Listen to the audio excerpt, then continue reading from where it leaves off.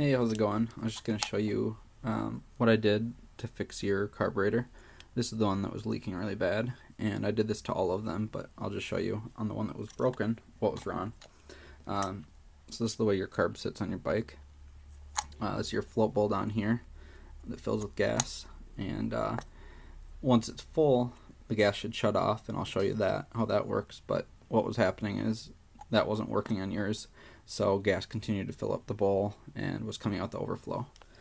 Um, so what you do is take off these four screws up here after you drain the bowl.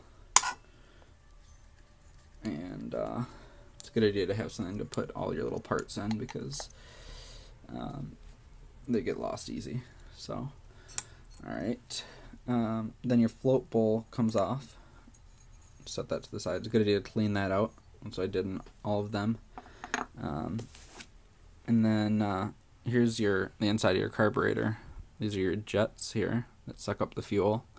Um, so for cleaning, what you do is you just take off the jets and uh, inspect them. Make sure that all the passages are clear. There's a little bunch of little holes on the side of the jets. See if my camera will focus. Uh, it's not really focusing. Come on. Well,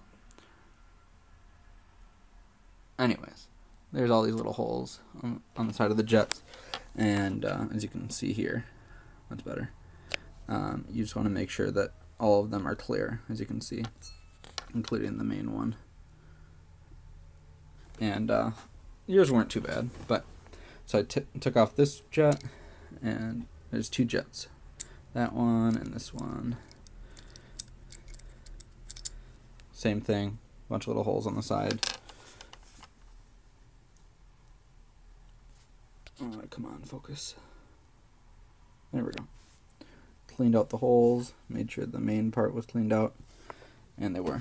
Then I cleaned out with carb spray and uh, compressed air. I cleaned out these two holes here uh, that the jets were in. Um, like I said, gasoline enters, it comes in here, and it goes through a little valve here, which is connected to these floats.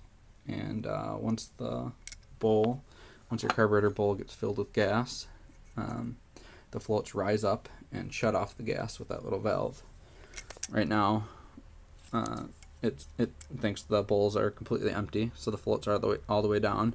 As gas enters, these floats rise up, and uh, it, it it works on this little valve here. Um, it's got a little hinge here, and um, the gas, all gas comes through here, and so right now it thinks the carbs are all the way full. That's what's simulating by having these down. And so nothing should be able to come through here. Um, and with yours, even though they were full, gas was still coming through. It's a very common issue. Um, all you do is take off the floats by, there's a little pin right here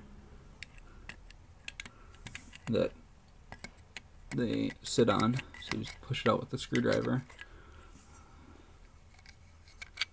Okay, it's a little pin.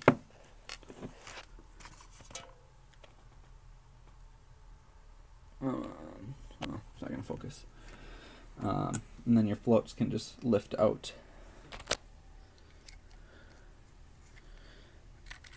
Um, so here's your actual floats with little needle uh, valve. So um, I cleaned this out in here. Um, actually took this bolt off. There's a little screen. Um, cleaned that out. Made sure that the rubber was all good in there. Um, and then the float itself just kind of sits on a little tab on the floats. And this is the valve. Made sure that the rubber was in good shape. Made sure that it all worked fine. And nine times out of ten, if your float, if your carb's leaking, it's because this little valve, there's a little dirt in there or something that's uh, causing it not to move up and down freely, and it gets stuck in one position, and uh, will either allow too much gas in or won't allow any gas in, and your bike will die.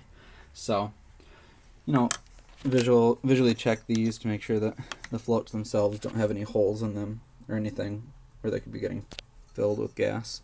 Uh, your float seemed to be fine. I think it was just this was dirty in here. cleaned that all out and it works fine now. So that's kind of what I did. And then I just cleaned everything else out with carb spray. And uh, I'm going to reassemble everything and you should be in good shape. Uh, the reason why these get all gunked up is people don't clean out their carb bowls and their uh, carbs, and gas stays in the jets and it stays in this little valve and everything, and it gets gunked up, and uh, you know it gets old, and then uh, the the float valve will stick open or closed, and it'll leak, and it won't get enough gas, or these holes will be filled up, and it'll run crappy. And that's that's why it's a good idea to clean them out, and that's how you do this: is you just spray everything, spray it out with compressed air. Uh, you know, visually make sure that everything works fine. Uh, one test you can do to make sure your float is working is this is where the gas comes in. You can blow through here, um, literally put your mouth up to it, blow it, blowing it, tip the carbs upside down.